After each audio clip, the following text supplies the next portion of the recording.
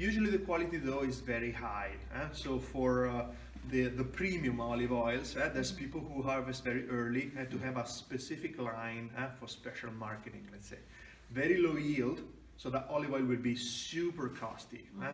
Between 0 and 0.8% we speak of an official olio extravergine. Initially just vegetation. So you see leaves, little twigs growing, and then actually it's late May, late May when you see the first little things that will be future olives. What is the uh, extraction uh, of extra virgin olive oil like? In this first machine here, the olives are washed. uh, It's a preparation for the real separation that will take place uh, 45 to 50 minutes later in this machine. They want to weigh how much it was to calculate the yield. It's not related to quality. It's simply, you know, I got more yield than you, I'm the winner. Right? so that's their mentality, right? Prodotto 100% italiano.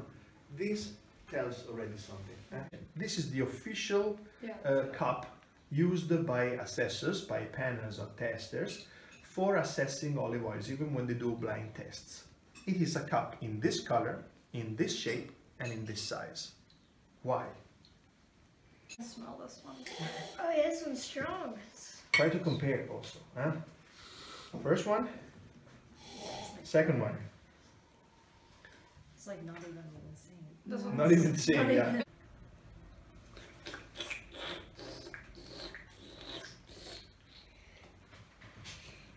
Oh wow, big difference. Well, a very different thing, I guess, right?